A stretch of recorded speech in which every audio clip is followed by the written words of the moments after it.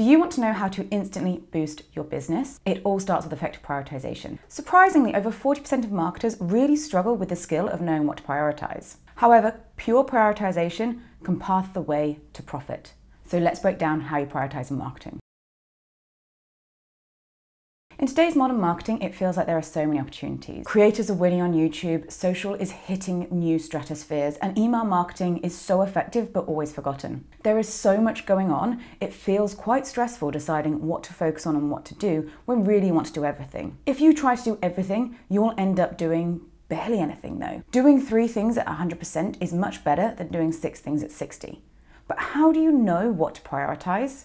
Well, you watch this video and I'm going to show you exactly how to build the best prioritization matrix that will make your life easier, your goals easier to reach, and help you sleep at night and have the good mornings you need. I'm Gina, I'm a marketing director from South London, and I've worked in startups and scale ups my entire career for the last 15 years. And what I found is that you cannot Google your way to good marketing all of the answers to the questions that I had when I was starting out my career, I've put right here on this channel so you don't have to search anymore. So make sure you like, subscribe, follow along, and check out all the free stuff that I have on my site, because really, I just want everyone to do better marketing. So a lack of prioritization can be way more problematic than people think it is.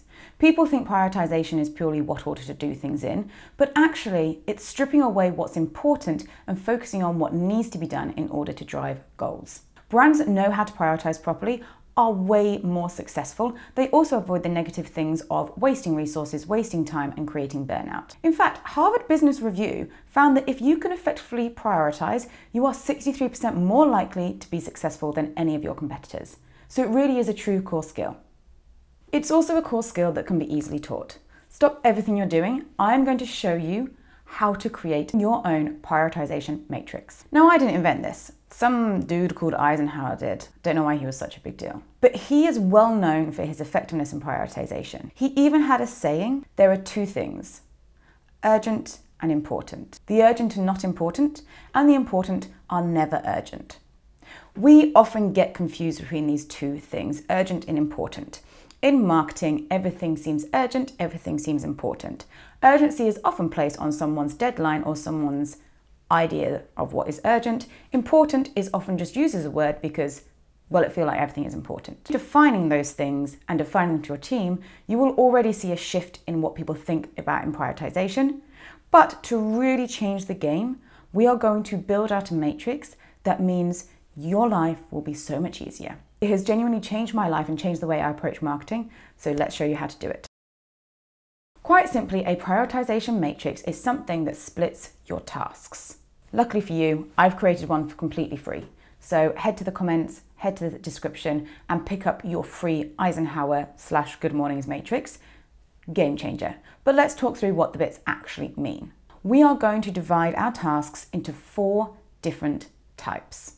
These four types of tasks are labeled in the Notion template, but let's just run through them. We have urgent and important. Anything that is under urgent and important is a do it now task, the top priority. These tasks genuinely require your immediate attention. These are things like next day deadlines, crises, emergencies, issues you see coming.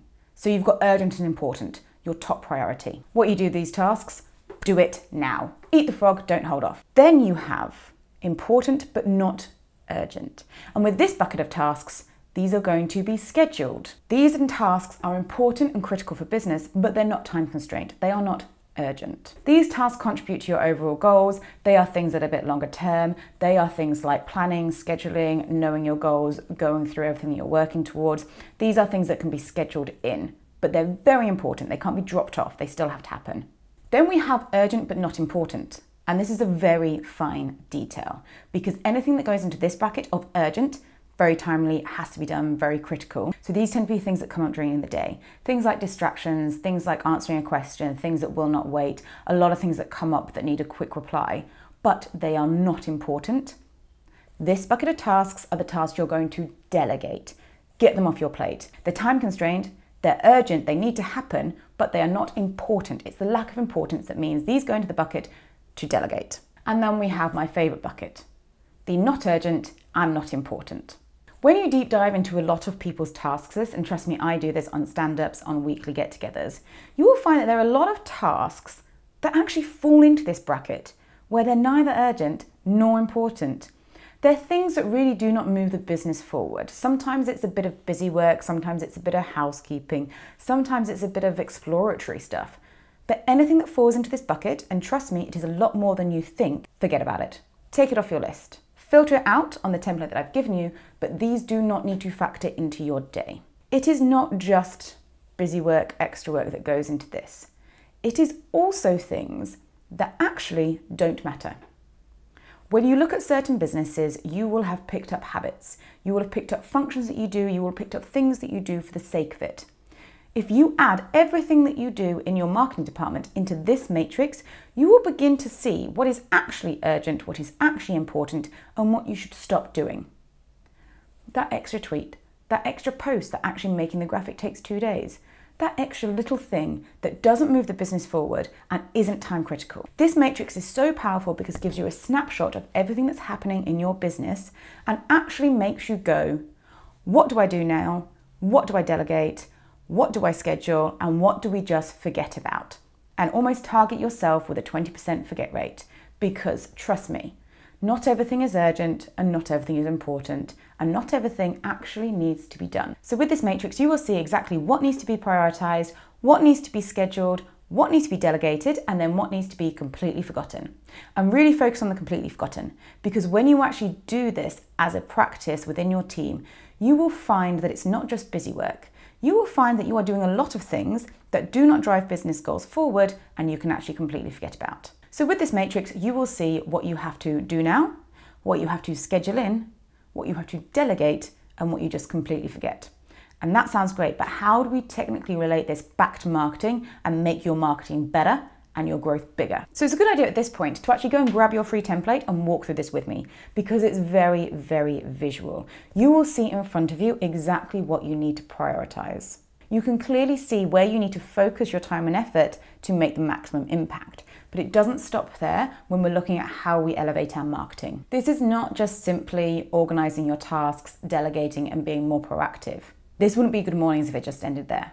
What this is, is making sure that you are prioritizing things that are driving company goals. You want to make sure that this Eisenhower matrix or this prioritization matrix maps exactly against your overall marketing goals and objectives.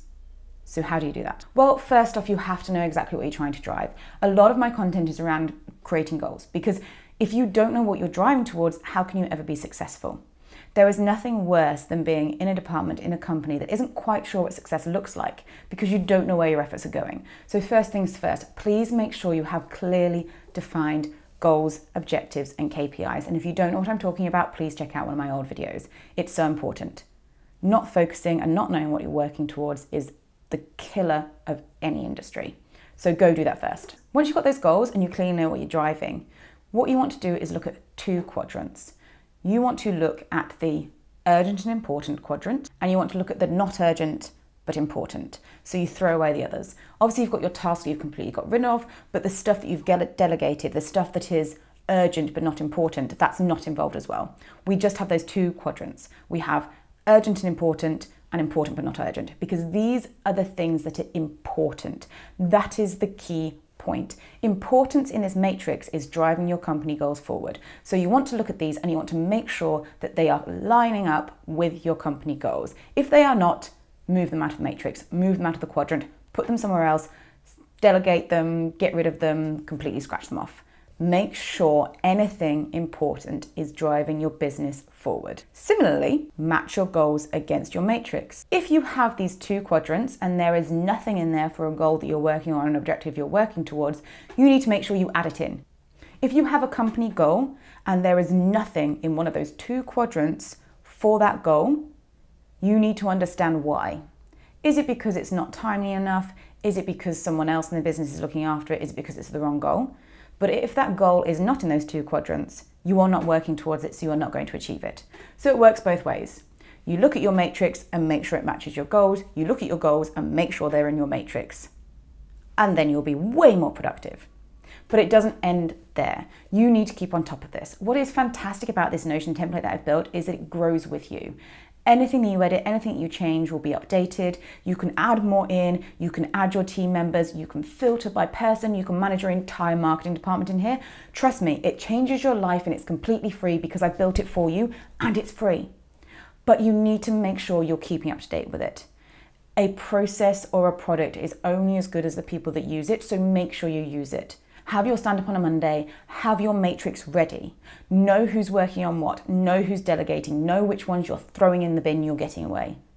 Look at this matrix every day. Move things through your task list. Make sure that everyone is working towards this. As a marketer, it's your job to make sure you're prioritizing things that shift the business forward and hit goals. And this tool will change your life. I hope you enjoyed this. Big fan of the prioritization matrix. Do go get your free one. Let me know how it goes in the comments. Please do like, subscribe, and follow on for more.